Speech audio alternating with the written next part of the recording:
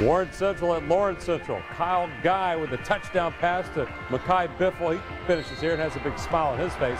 Biffle had a good night as Lawrence Central wins 58-53.